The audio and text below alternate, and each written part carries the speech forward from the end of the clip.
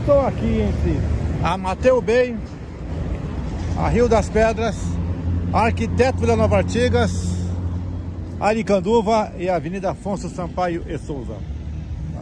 E aqui nós temos o marco inicial do Riacho dos Machados, inaugurado pelo prefeito Celso Pita. E a nossa marca aqui, ó. E eu vou mostrar para você agora o que aconteceu na última enchente.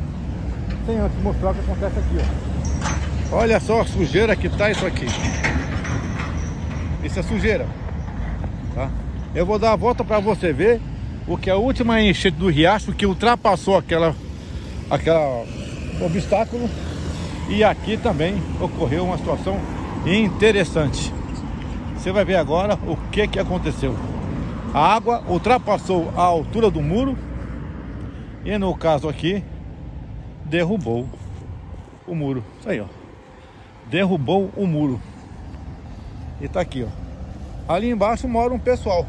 Mas atualmente eles não estão morando aí porque tá mas eles dormem aqui embaixo do córrego ainda. E veja como é que tá ali. E ali tem uma a pessoa ainda, ainda dorme ali, ó. O fato é, a última, no dia 8 e dia 9, caiu o muro aqui. Eu estou solicitando que a prefeitura venha, arrume, limpe e tire daqui esse pessoal.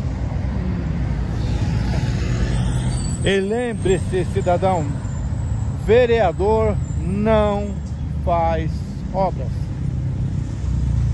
Eu quero que você dê um like nesse vídeo, mas só se você se indignar.